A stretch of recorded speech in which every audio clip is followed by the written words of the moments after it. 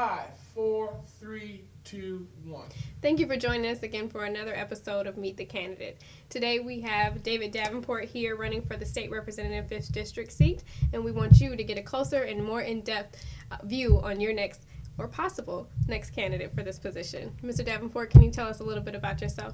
Well, first of all, I'd like to thank you all for inviting me. Um, of course, my name's David Davenport. Um, I was born and raised in Dayton, Ohio. I wasn't born and raised here in Flint, Michigan, but I've been here for 12 years. In the 12 years that I've been here, um, I have two sons. Um, I've been elected. I am an elected official to the Flint Board of Education.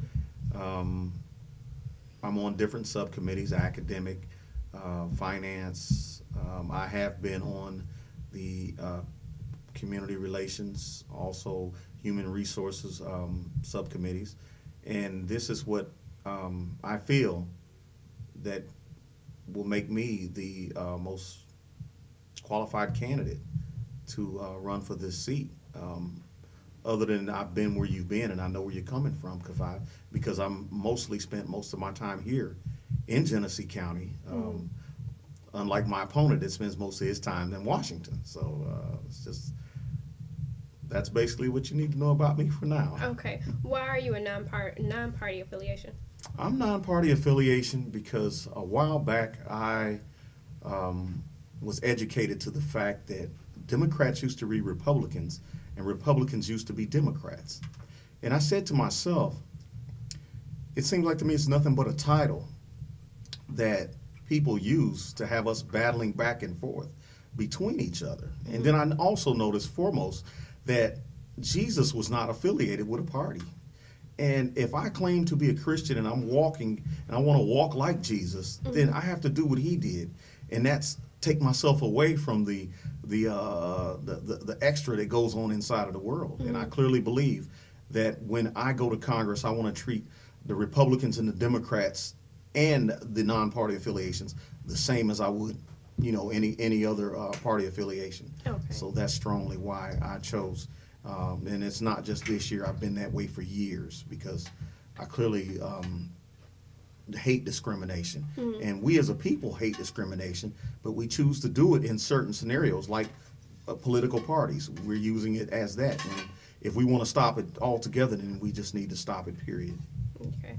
Uh, what are the most important agenda agenda items on your platform? My most important agenda items, which I do have many, okay, uh, uh, my most important would be the seniors um, should not have to pay property tax. Um, I feel like that um, there are many houses sitting right now in the Genesee County Land Bank that are not being paid taxes on or anything. They're just sitting there. So here we are bothering our seniors that have gotten us where we are today and asking, making them wonder where they're going to have to lay their heads at night you know, uh, uh, over no reason at all. I feel like I feel like they have gotten us where we are, and I think they should have vouchers to cover their property tax every year, um, no matter what it is. Um, the second thing that's most important would be all education needs to be funded through the federal government. I clearly believe that college tuitions, um, just because I'm poor and I don't have the money, I can get a scholarship or a grant. But say if your parents are rich, then you can't get a scholarship mm. or a grant. That's crazy. First of all, I'm punishing you for what you, for your parents' success, and I feel mm. like that's totally wrong. All children are the same, no matter what. And when when they when they exit high school, it makes it seem like they're grown, they're adults. No, they're not. They're not adults. They're still young minds that need to be trained. And I feel like if we fund education from um, uh, kindergarten all the way up to, to high school, then we need to at least go a step further, associate's degree or the full four years. Um, where we would get this money is our defense. We're spending $606 million a year over uh, for foreign aid, um, uh, defense, and I, I think that's some money that we need to bring back to the United States of America and educate our children properly, our future properly, instead of over here spending it spending it on other countries that turn around and kill us. Right. you know, after we help them get to where they need to be. So uh, there, there's just a lot of things that I think that we have wrong with this country that needs to be changed, and I'd be more willing to go up and um, fight for it. Okay. What are your positions or opinions on Public Act 4? Public Act Four. That's an interesting. Uh, that's an interesting question. To me, Public Act Four. Well, i- to me, a public act is needed, whether it's seventy-two or four, in a state, just in case we have um, a, a a a city that the leaders can't balance the budget or function with the budget. I definitely think that there needs to be a public act there, but Public Act Four is too uh, uh, too strong, too too too, too, uh, how do how do you call it when it, it's too Overbearing. o- overbearing. I mean, it's just like they've come in and hijacked this city and said, "Hey, we're taking over. You got to do what we say." Uh, uh, and and there's no other way around it. Now, the the, the the the reason I feel that there should be a public act is is that you should not be able to dress Ned DeWino up and put a tie on him and get 40 signatures and then say, "Hey, he's running for office." Once he gets elected, he's over millions of dollars. And guess what? Ned DeWino only knows about drinking. You know, he knows he knows nothing about uh, uh, uh, finances. So in Congress, I would uh, try to pass a bill, legislation, that would that would state that if before you want run for an elected position that does deals with finances, you would have to take courses that you would have to pass before you could even get on the ballot to be uh, to become elected. This way, we won't have many people getting in these seats not knowing what they're doing, and uh, the government steady going down. Would So that would that apply to those who have uh, business degrees or any type of, of degrees where uh, from a four year institution where having finance courses or um, advanced math mathematical courses are a requirement? Would you require those also to take these additional courses as far as finance and finance is concerned? Well, that that would have to be set, but but but I, I would say if you got a degree in art or something like that, hmm. you would still have to take those courses. And I would say no. I I would say yes that they would still have to take the courses. This way, we know as citizens that they are qualified, not just by what the degree said, but that we know that they are qualified because anybody really can get a piece of paper and put something on it. So I would say clearly that we would definitely have to. Um, they would definitely have to take those courses. Okay. Being a, a United States representative comes with a lot of different controversial I- issues, and those including, but not, are not limited to, abortion as well as gay rights. What are what are your stance on these issues? Okay, interesting. My stance on abortion, and I've been a Christian all my life, okay? The Bible says, Thou shalt not kill. Thou shalt not kill. And I truly feel like if once um, um, once the egg is um, uh, uh, uh, formed, that's a human life. Um, that's a human life. That's the same way as a, if a chicken once the chi- once the egg is ha- uh, once the egg is formed, that's that's a that's a live chicken, no matter whether you think it is or not. And the Bible says, "Thou shalt not kill," and I will not go against that, no matter what. So that's something that I'll have to deal with as far as my election is concerned. And your your your seat and your opinion on gay rights. Gay rights.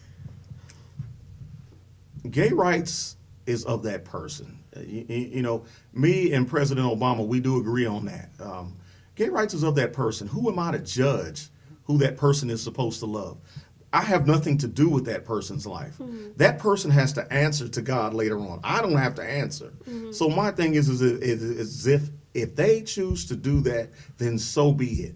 It's not interfering with, with as, as far as the country's finances or anything like that, uh, how the country uh, uh, functions. That's my goal as a congressman to go in and worry about things like that, not whether or not somebody is in love with somebody and should they be together for the rest of their life. So um, Okay, I can hear our viewers screaming this question, so I'm going to ask. that would obviously, it to me and, and to our viewers, I could see the next question being that same opinion on abortion. What will be the difference between that being that person's that person's stance and that person's life, along with who they love, as far as whether they're having a child or whether they're they're they're loving someone of the same sex as them. What what will be your answer to that? Is that still none of your business?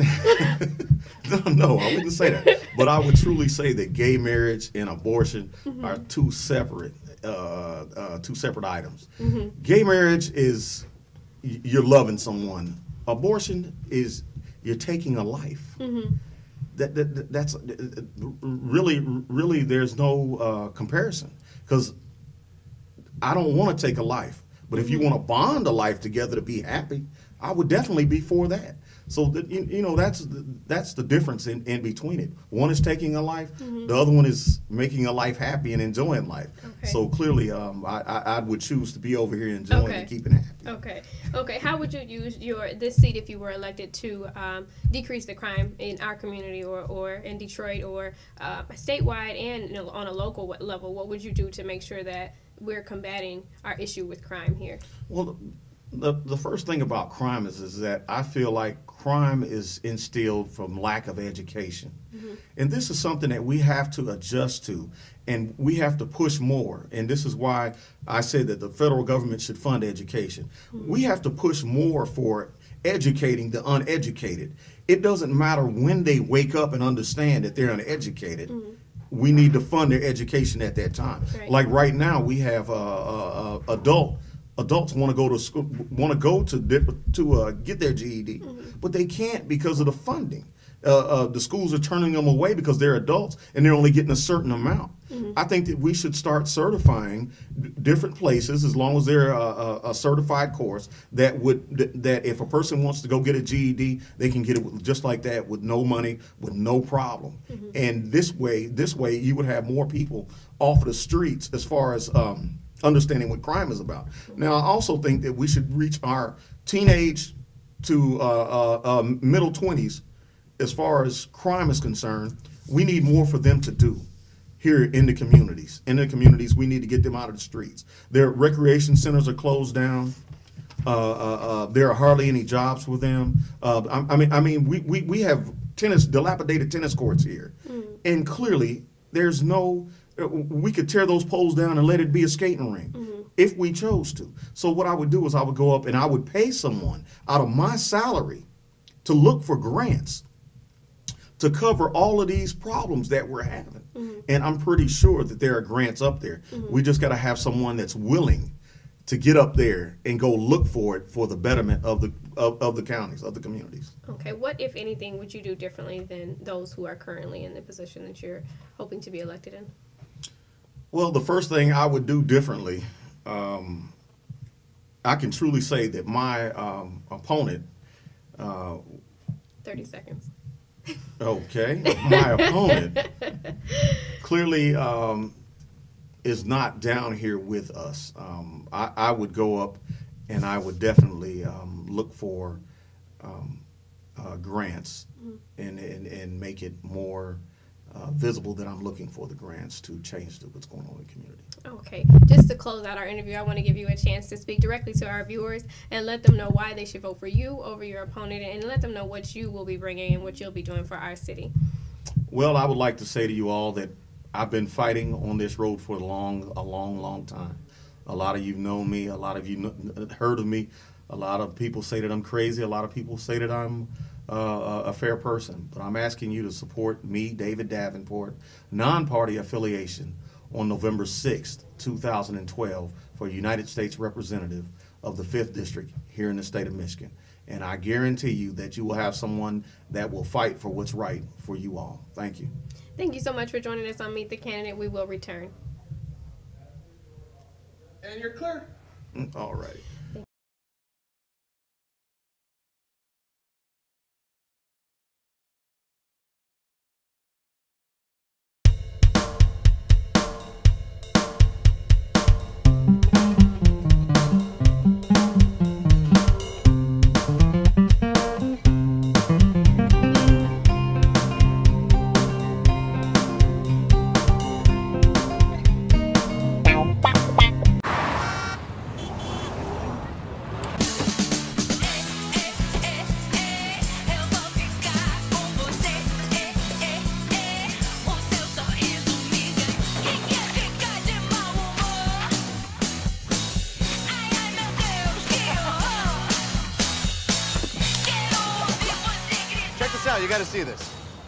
Frog?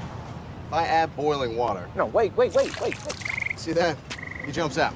Smart frog. Now this guy, he's just as smart, but he won't jump out. Could jump out, But he won't. Really? He'll just stay in the beaker as the temperature slowly rises, never noticing, until he boils alive. Why doesn't he just get out? I mean, if he can get out, he should just get out. Right?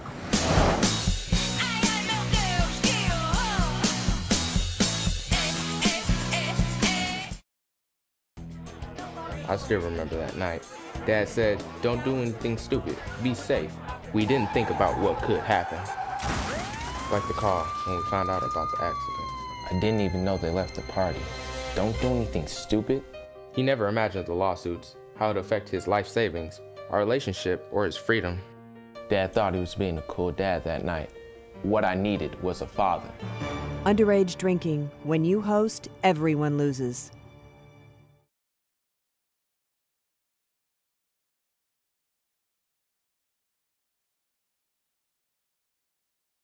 Close out after this one. Two, one. Welcome back to Meet the Candidate. I'm your host, Kamora Cochran, and tonight I'm here with Scotty Boman, and he wants to be your next U- United States Senate. He wants to be a part of the next United States Senate. So we're going to let you get an inside glimpse of who he is and why you should vote for him. Scotty, can you give us a, um, a little brief synopsis about yourself and, and who you are? Tell us about yourself. Well, I've been involved in the liberty movement since the 1980s, and I've run in every statewide election since 1994. I've always run on a pro liberty, um, small government platform, and I currently am a professor. I teach math and I teach physics and physical science at Macomb Community College and at Wayne Community College District. Okay. Why did you decide to run for this office? Well, I saw that our country was in trouble and that establishment politicians were only exacerbating the problem. I didn't see that either of the major parties were really going to stop the practice of growing government and creating the great debt that is now um, hurting our country. And so that's when I um, really felt that I need to get involved and try to change things because no one else is. Okay, definitely understand that. Please let us know what you believe is the biggest issue facing Michigan at this time, and what you will try to do positively to to impact that issue here in our in, in, in our country and especially here in our state. Well, it's the current economic depression. Mm-hmm. And currently we have a situation where the states and the local communities have had to tighten their belt because they don't have a privilege of printing money out of thin air or of running serial deficits. That is not true for the federal government, which has had, um, by practice, legislated its own debt ceiling increases and has been able to borrow money with um, very little limitation as a result of our Federal Reserve System. So the one thing that I'd change is I would um, end the practice by our federal government of deficit spending, and which in turn creates debt, which in turn brings down our economy. And to do that, I would mean having to reform the Federal Reserve System by first um, having a full audit and then ultimately um, phasing it out. And otherwise, what's going to happen is the federal government will continue to grow, and that does have a cost. Even if we're not taxed for that growth, it ends up being taken from us anyway by diminishing the value of our currency. Okay, if that is the, the main concern at the time for you and in our country, please let us know how you would address this issue. Would it be spending cuts or tax increases? Exactly how? What, what do you believe is the answer to the to the problem? I believe in spending cuts because, for one thing, we've reached a point where taxation is so high that any increase in taxation will only reduce productivity. And so you're really not going to get more out of it anyway. Secondly, I feel taxation is immoral because it is a form of theft from one group of people to give to another. Um, but furthermore, we can't really tax ourselves fast enough to keep up with spending. Rather, what we need to do is we need to cut the spending, which is already not being paid for. It's not being paid for directly, anyhow. What's happening is we're borrowing money, and that's increasing debt. And as I've said, um, that is reducing the value of the money that people save. It is, in a sense, robbing people of their savings. And it is causing the um, economies at the local and state level to go broke because they can't keep up with that kind of system. So we need to cut the spending. And as far as, well, how would people pay, get the services that the federal government, for instance, is providing? Well, my answer to that is every dollar that they spend is somehow, whether it's by debasing the currency or by taxes, it's all taken from us anyway. And so what would happen is we'd have that money, it would stay in our pockets, or it would stay in our communities, or it would stay in our states. Okay. Okay. How do you believe that uh, the federal government, if at all, should define marriage? I don't believe the federal government should define marriage. And in fact, I don't believe any government should do that.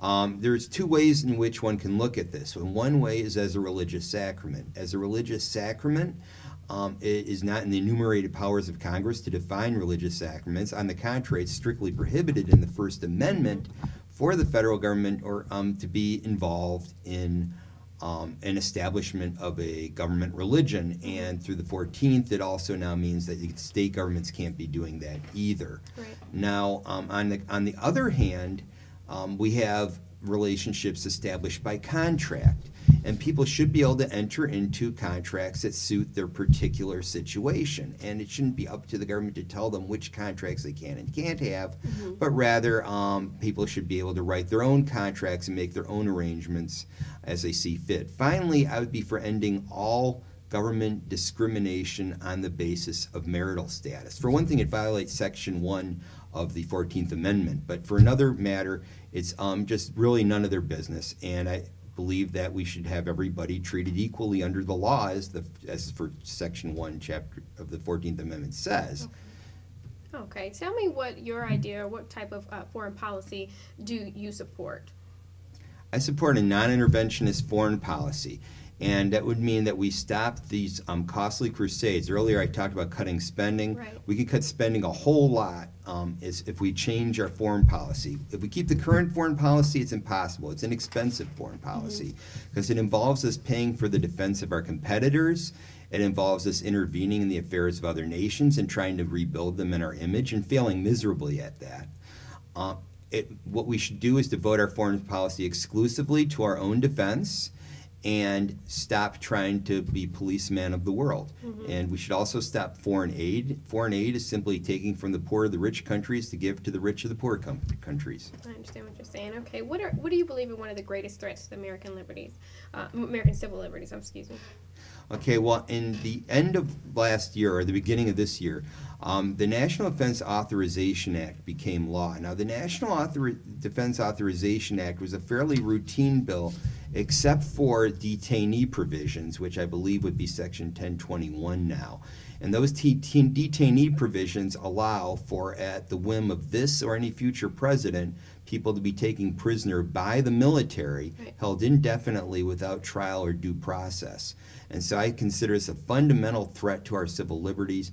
And um, basically, it's, it unfortunately had bipartisan support across the board. So it's not even a matter of one party or another as far as the majors go, which is another reason why we need to get other people in there because we can't count on the establishment politicians to protect our civil liberties.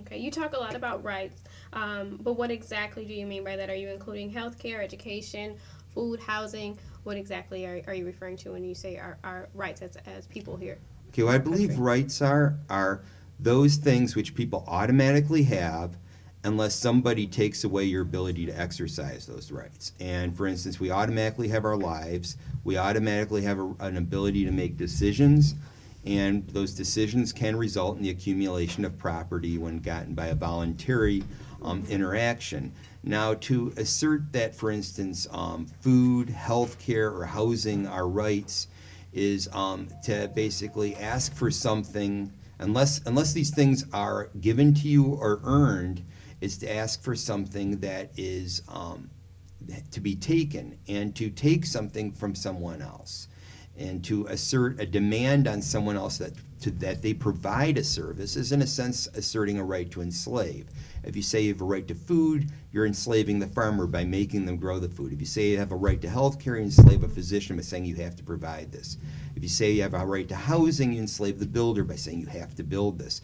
And if you say, well, I'm going to pay them and I'll just take the money from everyone else, then that's who you're enslaving. Mm-hmm. Okay, Devin, thank you for clearing that up for our viewers. Do you support an audit of the Federal Reserve? Absolutely. This institution has an extreme power to um, that affects our economy in the sense of being able to uh, literally print what we call money. Um, they have um, do a lot of this in secret right now, and it severely affects the value of our currency. It it, it puts money in the pockets of some groups to the expense of others, and without an audit, it's hard to really know what they're doing and um, who's benefiting from this. And everyone has a right to have this information. Um, ultimately, I think the entire system needs to be replaced. But currently, um, the first step, whether you want to keep the Federal Reserve System or reform it or get rid of it, is we need to have a full audit. Okay. What uh, would you do differently, if anything, compared to your opponents or and those who are currently in this position that you are trying to be elected to? to? Okay, for one thing, I differ, for instance, from um, my Republican opponent, Pete Hoekstra, in that I would strongly oppose any um, bailouts such as the one he, he supported to the banksters when he was in the House of Representatives. I would um, strongly oppose, for instance, the Brady bill or the DC gun ban that Pete Hoekstra supported. I would strongly oppose things like the National Defense Authorization Act I referred to earlier that Debbie Stabenow voted for. So um, I'm for less government intervention and more individual liberty, which neither of the major party candidates stand for. Okay. Do libertarians really believe in legalizing drugs? Yes, we do, and some people find it to be quirkish or weird, but in my opinion, it is actually an example of how we are much more sensible than the other parties. Because what we have here is a situation where um, you're, for one thing, the people who make drug laws are controlling, trying to control the behavior, personal behavior of individuals, and in a sense, create, trying to control the way in which they modify their own thoughts. And I think this is a fundamental privacy issue at that level. And then we have from a constitutional perspective, the federal constitution doesn't give the federal government the power to regulate intrastate commerce. That's trade mm-hmm. within states. So any drug laws that go beyond trade between states or imports are, are purely unconstitutional. It's mm-hmm. not something they even have the power to do. That's why they needed a constitutional amendment for alcohol mm-hmm. prohibition. Um, they just started ignoring the Constitution after that.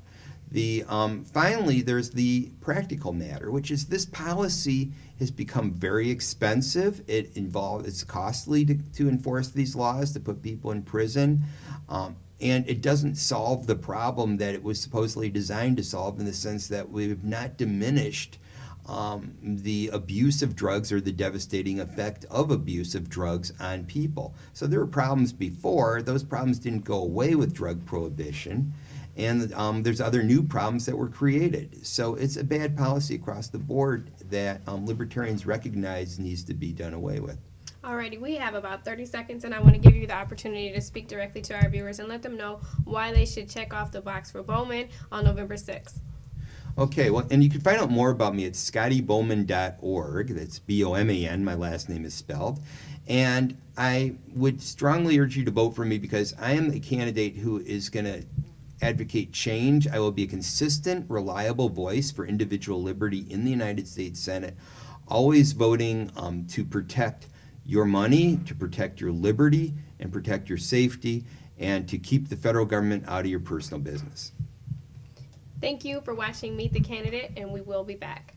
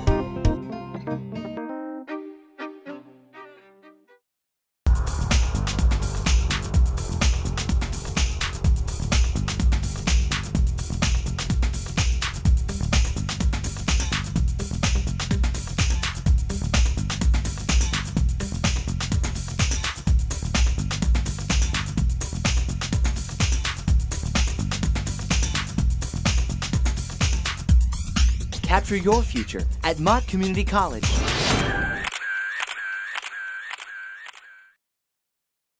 Three, two, one, race it.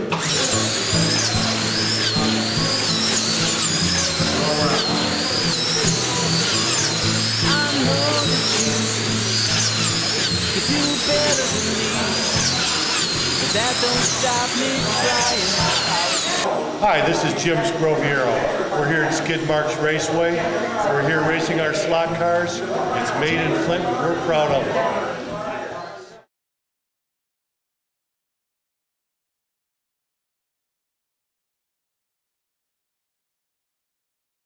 Thank you for joining us for another episode of Meet the Candidate. Today we have with us Vera Perry from Flint School Board seat. Welcome.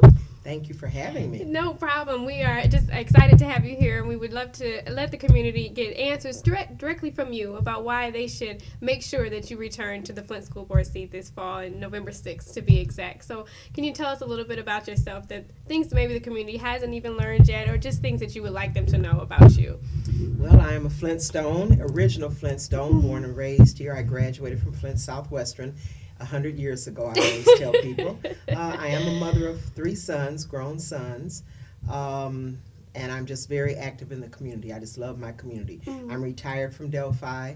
Uh, I've been retired now eight years, Okay. and I actually worked 31 and a half years. Oh, wow. Wow. Well, thank you. Thank you for your service to our community. What experience do you bring to the school board? We'll be bringing back to the school board once you're elected. Well, I've been elected twice, uh, so this is my second term I'm on. If I'm reelected, it'll be my third term. Mhm. Uh, I've been president, I've been treasurer, I've been uh, assistant secretary treasurer. Um, have made some big, tough, rough decisions Mhm. uh, through the course of those 10 years that I've been serving. So I, I think I bring a lot of experience. Okay, we appreciate that. Please let us know what are the crucial events that you think um, are impacting our students, our parents, um, and our teachers, anybody that's affected by the Flint schools d- directly. Let us know what you think are the, are the most pivotal issues. Well, the decline in student enrollment, uh, the declining funding, which is tied to Right. student enrollment, and our and poor test scores. Okay. Yeah, we've got to do something. We've got to come up with something to help our students to do better. Okay. What? Why do you? Can you let us know from the viewers and some that may or may not know and already and aren't able to attend the school board meetings or just are not knowledgeable on the reasons behind this the school closings here in our community? Well, in 1968, we had approximately 48,000 to 50,000 students in this district. Mhm. There's been a decline ever since then. We're down now to um, maybe 8,000 at this point. Okay. Um, a lot of it is due to the uh, leaving of General Motors. Mhm. Uh, jobs basically have declined, you know, have declined uh, in Flint, and people are leaving. Uh, we used to have about 100,000 children in all the Genesee County going to school. We're down to about 60,000 kids in all of Genesee County. So that's letting people know that kids have, uh, families have left the city, the county, and the state. Right. Um, so you can't have all those buildings. Right. You can't be putting a million dollars into a building for uh, utilities, uh, maintenance on the building. That money can be better served doing something else. So we have to close the schools. The population is shifting. At one time, it was a huge population on the north side. Still, the north end has the most students. Mhm. However, the population isn't as big. And so you, you've got to start closing. And that's the hardest thing to do is to close the school. Understandable. Can you let us know some of the accomplishments that the community and, and at large may not be aware of, of the, the accomplishments that the board has had since you've been a member of the Flint School Board? Well, we um, we have continually cut twenty to twenty-five million dollars out of our budget, and believe me, just think back. If I've been on the board for ten years, and every year we cut twenty to twenty-five million dollars, Yeah. uh, that's a lot of It money is. we've cut. Uh, we've downsized administration. We used to be very, very heavy on administration. Mhm. We're continually downsizing our administration. And we're bringing more and more technology into the buildings because our students have their cell phones, they have the iPads and all those other things that I don't even know what to call them, and they want to use them. So we're beginning to really do a lot around those pieces Mhm. so students can do their work, uh, look up information, Yeah. and keep try to make school or keep school very exciting for them. Yeah, and then that may be one of the reasons. But can you give us another example of why you you believe wholeheartedly that the Flint schools is still the best choice? Well, we have the advanced placement now uh, test that students can take, and in fact, one of our students took the test, and she has a perfect score, Wow. 24, and she's a senior this year at Northwestern. Um, we have the IB program, the International Baccalaureate Program, which at this point is housed at Southwestern Classical, and that program in itself uh, just gives a child the the chance to do their research.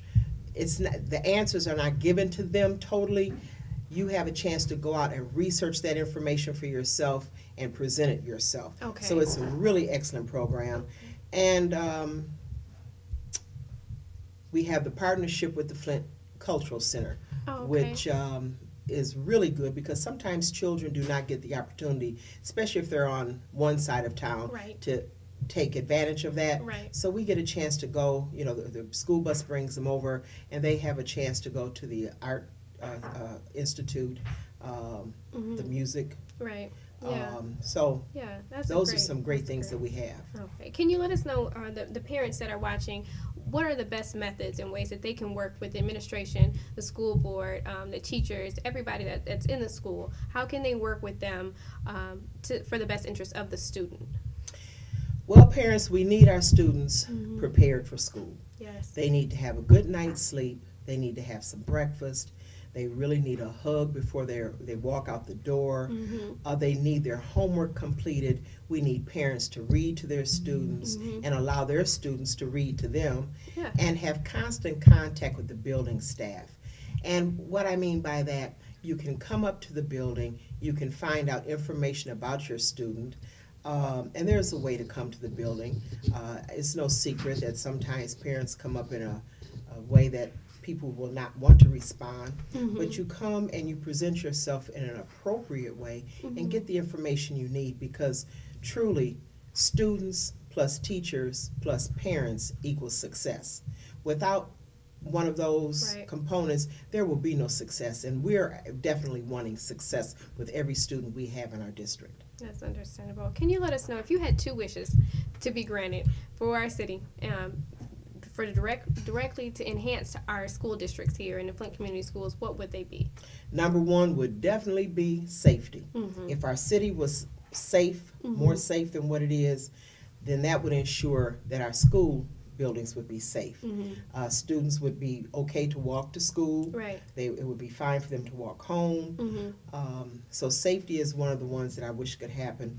And then unlimited funding, because the state of Michigan, as well as the federal government, they continually want to cut funding. Mhm. And when you cut funding so bad, eventually that will affect what happens inside of a classroom or in that building, Mhm. which may um, stop a child from getting some information or Mhm. progressing where they need to progress. Yeah, that's understandable. It, it- to piggyback off of that, how has the Flint Community Schools addressed the issue of bullying? I know it's it's a big issue nationwide now. There's campaigns on ending bullying and, and trying to make sure students know that it gets better. But how have we addressed it here in our community with our Flint Community Schools?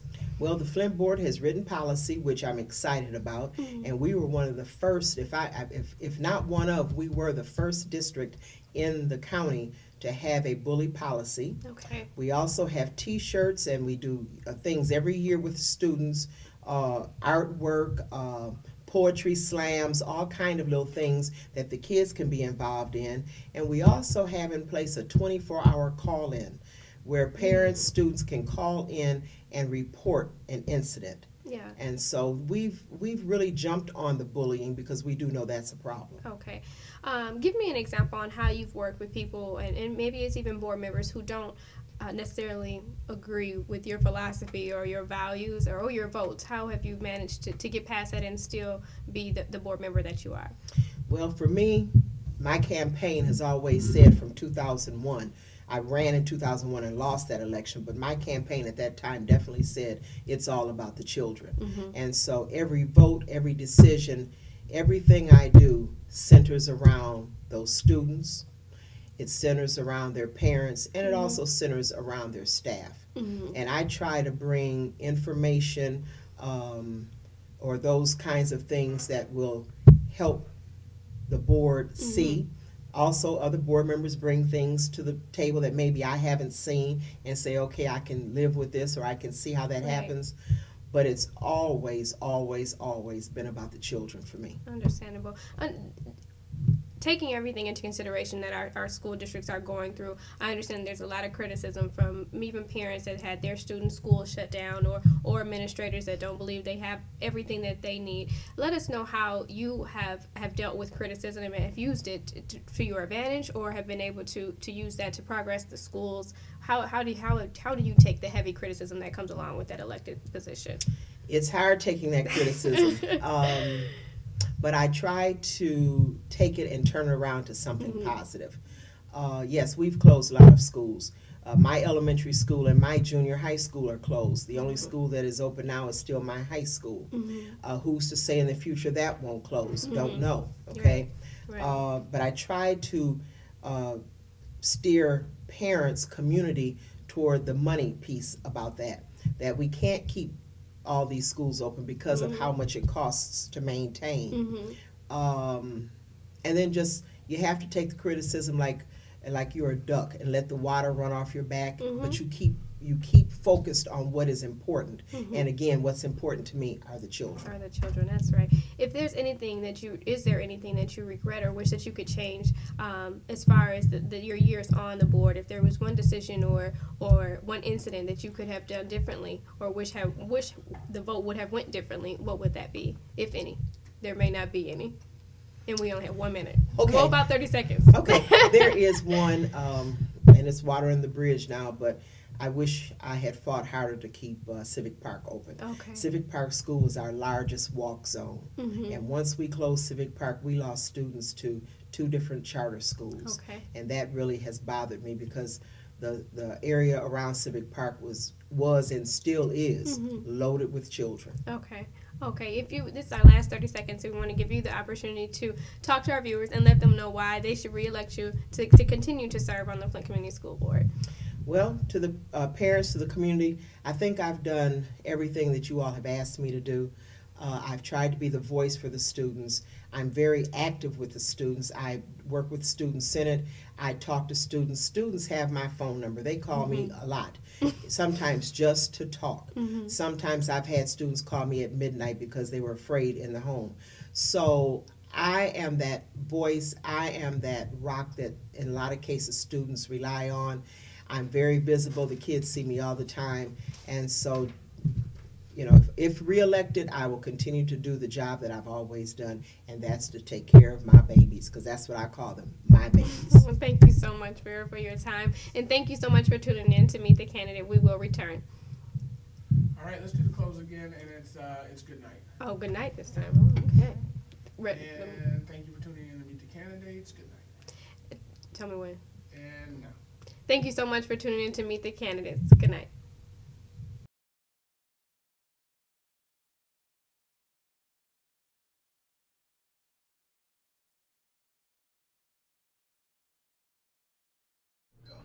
Hello, my name is Ed Bullard from the Flint, Genesee Hate Crime Response Task Force.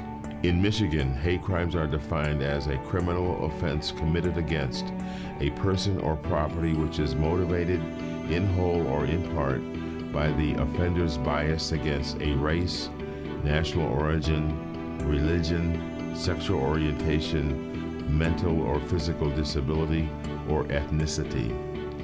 Federal and some local laws include gender identity.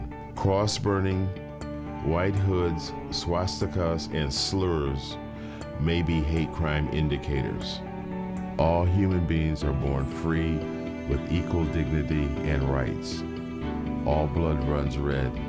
Let's stop hate crimes. For more information, contact the Michigan Alliance Against Hate Crimes.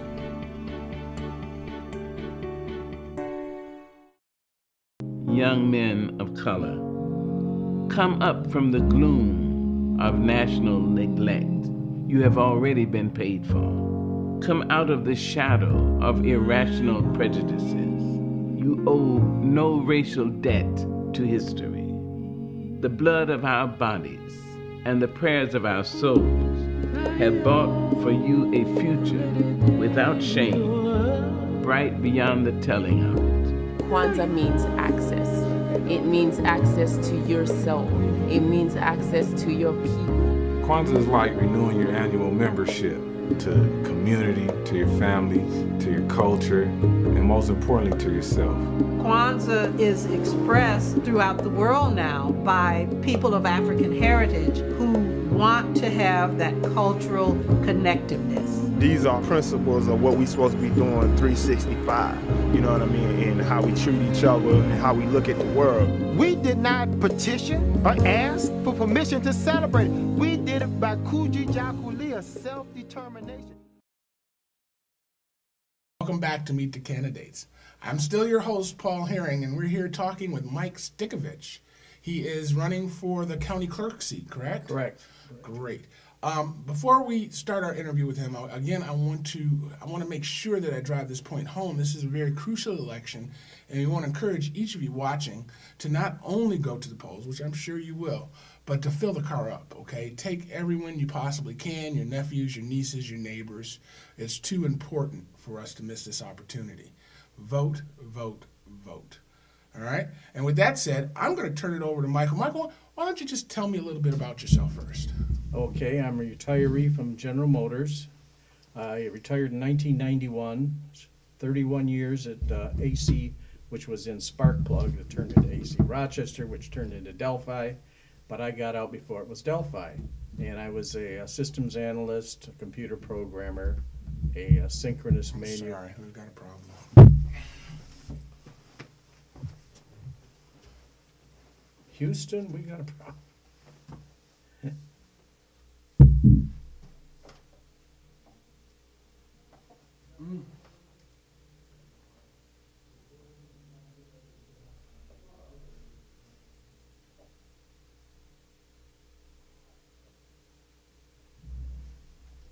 All right, we're gonna have to start that again.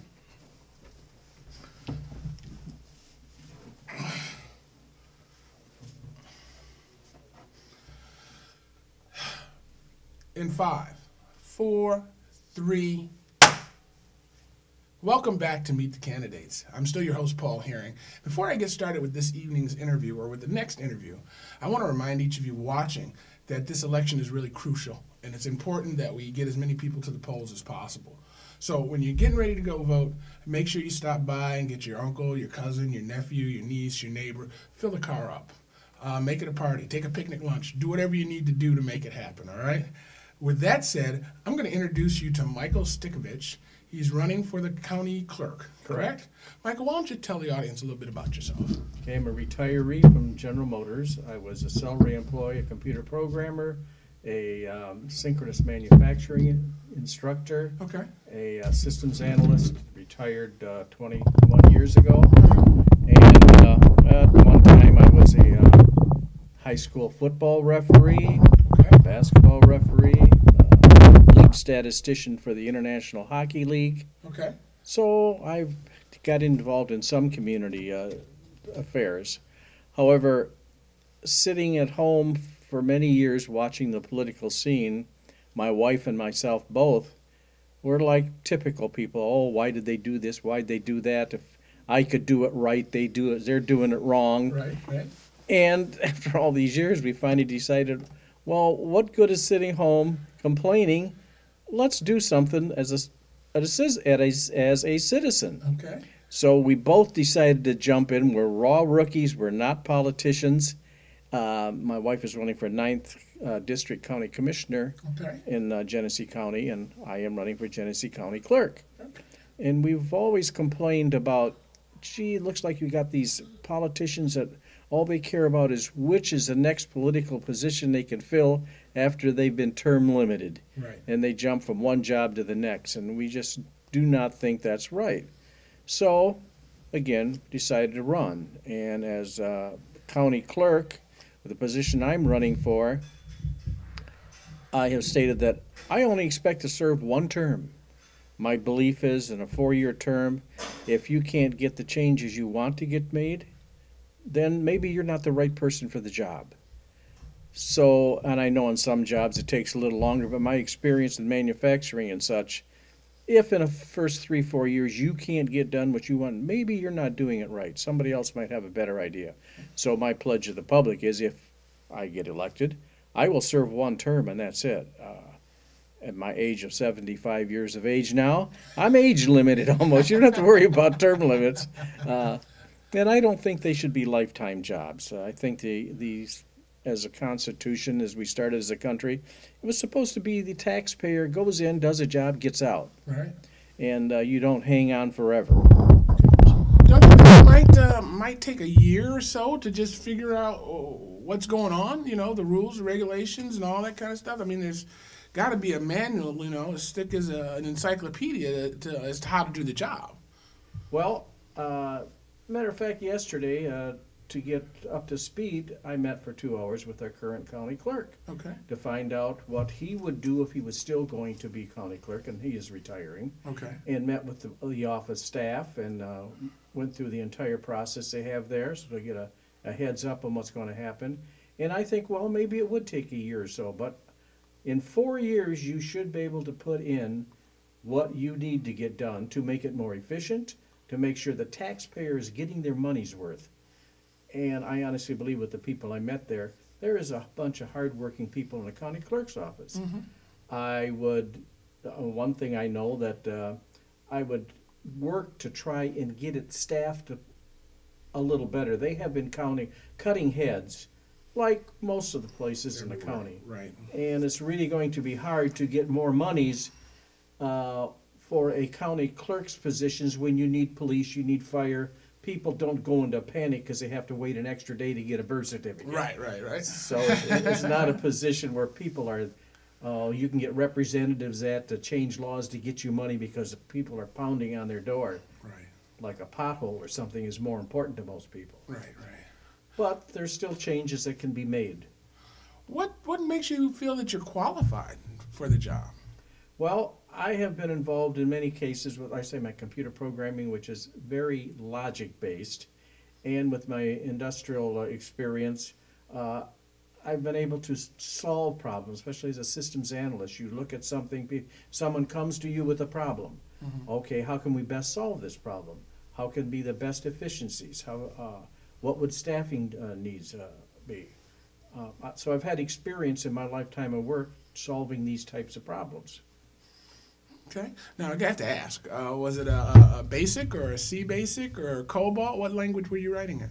We were mainly COBOL. Uh, before that, when I started, it was punch cards, and there was no such thing as a computer. It was punch cards that everything was fed off of that. Then the computers came in, and I got involved in that. I actually started computer programming then, and uh, it evolved into COBOL. It was it was a more basic language preceding. Okay. When I tell my kids about the computer punch cards, they just think it's unbelievable. so you say you're going you're going only going to go for one term. Correct. Why? I mean, why should I vote for you? That's Twice. Ralph. Yeah. Yeah. uh, well, I have no ulterior motives going into this job. Okay. And my only uh, reason for running is to try and do a better job. Not to say that the person that's retiring didn't do a good job, but my sole purpose would be to improve on that and make sure that the office runs more efficient, efficiently and not get in there and having my eye on the next political job that may be opening up. My total 100% dedication will be to that job because that is it. Well, you- almost have to realize that in the next four years, your budget's going to get cut. And uh, you mentioned that one of your goals was to get the, the building staffed. How will you do that? Well, one of the main things I can think of is try and look for. Right now, the property taxes are what they are because we have a reduction of population. Everybody knows that. So the basic financial needs are really being stretched. I would push, and, and it's not my job, but I would push that what other streams of income can we generate in Genesee County besides property taxes? How can we get other businesses in here? Uh, and that's not the job of the clerk, but I would push my commissioners and such to find those so that we can staff areas more efficiently and hire more people. Now, if it involves getting more companies here, that's easy to say, but what can we do to make it so a company wants to come here? Sometimes I think that some of our politicians get into their, their job Mhm.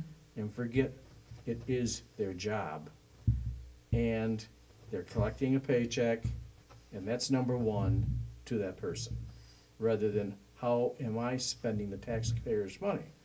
And along those lines, I have made a pledge that whatever the salary is for the county clerk, I, right off the bat, would give thirty percent of it back to be used in whatever we For can use additions. within the county clerk's position. Okay. Nice, nice. And we don't know what the salary is for that I position? think they just decided on eighty-one or eighty-two thousand dollars a year. Okay. Because it is assuming the responsibilities now of the Register of Deeds. Okay. Uh, Rose Bogardus used to be. and Right. They're eliminating that position, so now that's being taken by the county clerk. I see, I see. So, I mean, that's almost enough to hire another clerk I or a would think so. cashier or something along that lines. Or do something with it, like, uh, maybe get more technology in, uh, into the record keeping so that we don't have huge rooms full of paper and boxes and such. Because as death certificates, divorces and such, you have to keep records for hundreds of years. Right. And then these are also things that are, uh, the state and Lansing, they determine a lot of the paperwork, how long you have to keep it. Right. Well, maybe those don't have to be the rules forever. Maybe you can keep them on a flash drive or such that doesn't take a warehouse full of boxes. Right. Maybe you can reduce what you're paying to store. Well, you just use microfiche, right? Right, there is some microfiche, but there's certain things you- you're not allowed to, do it. And I'm saying, well, why? Why? Right. Well, the old, I call it the, the old Russian rule of is it good enough for me is good enough for you. Right. well, maybe that isn't good enough. Right, right, right. Sounds like an ideal opportunity to hire some kids to scan this data in, and you know, I guess you could off-site still store these things in one of our abandoned schools, perhaps. Yes, yes. well, I'm going to give you an opportunity to look right at the camera and talk to the folks at home, and uh, I guess convince them to vote for you. Very good. Uh, I, it's easy for me to say this. I'm an honest person. Okay. And when I tell you I would give thirty percent of my salary back, and I am only going to do a four-year term, and I am going to do the best job I can to make that office run as efficient as possible and with no question on the population's worries about, well, one thing, for example, uh, are the voting records, you know, that's a Secretary of State that does that. But are the tabulations doing right? Is somebody fooling around with that? And we all hear the horror stories every year. Right. Well, my job would be to make sure that happens correctly and all records are absolutely perfect because I have no other ulterior motive. Again, I am not looking for a my next position. I'm only looking to do the job that you're hiring me to do. All right, listen. Mike Stikovich running for the county clerk. He's promising no hanging chads in Genesee County. All right? So if you guys uh, want to get out and vote, perhaps he's the candidate for you. Again, you're watching Meet the Candidates. I'm your host, Paul Herring, and there'll be more.